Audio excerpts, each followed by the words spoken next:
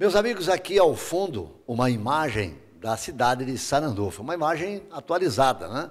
uma imagem aérea aqui que mostra a extensão do município, a extensão geográfica, os bairros, a sua localização. E eu estou aqui ao lado do secretário de Planejamento e Desenvolvimento Econômico, que é o Rodrigo Getelina. E a gente sabe que uma cidade precisa ter planejamento, precisa ter uma estratégia para poder crescer de forma natural e produtiva. Então seja bem-vindo aqui ao nosso programa, Rodrigo. Tudo tranquilo? Olá, Jorge, tudo bem? É um prazer recebê-los em Sananduva e demonstrar para todo mundo o potencial da nossa terra e a, a, a pujança do trabalho do nosso povo.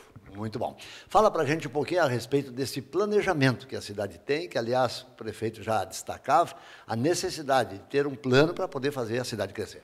Sim, nós colocamos como uh, meta de, de governo né, trabalharmos sempre uh, a gestão pública na forma de planejamento mesmo. E esse trabalho ele é a, a todo momento revisto para ver se as metas estão sendo cumpridas ou não. E, e, esse trabalho nos dá essa tranquilidade, né, do que vai acontecer. Então a gente já trabalha pensando lá no futuro as ações que precisam ser desenvolvidas, né.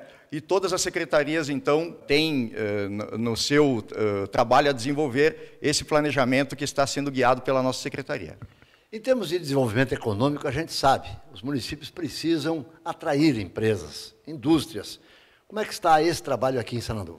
Nós temos leis de incentivos que nos garantem uh, esse aporte financeiro e de auxílio às empresas. Né? Então, todas as empresas que desejam ampliar, se instalarem, nos procuram, apresentam o seu plano de negócios, né, a sua viabilidade econômica, e a secretaria faz os encaminhamentos, né? E a gente busca sempre ajudar. A gente busca na, naquilo que for dentro da legalidade da possibilidade e viabilidade econômica ajudar a todas as empresas. Tivemos recentemente um, um processo licitatório para a, a, nossa área industrial e já não temos mais lotes na área industrial 2, né? Então uh, existe também do nosso comércio, da nossa indústria, esse empreendedorismo uh, para fazer o município crescer e isso também vem do, do, nosso planejamento, porque nós estamos juntos com a, associação comercial e isso facilita esse diálogo e, e, e, através da nossa sala do empreendedor também, que a gente instalou aqui, é a porta de entrada para todo empreendedor que quer crescer e quer investir em Sananduva.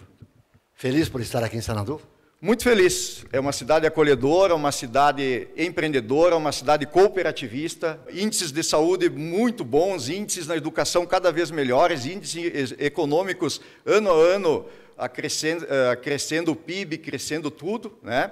Então, Sananduva tem todos os ingredientes para ser uma cidade boa para viver, boa para investir, e é isso que a gente está trabalhando para que isso aconteça.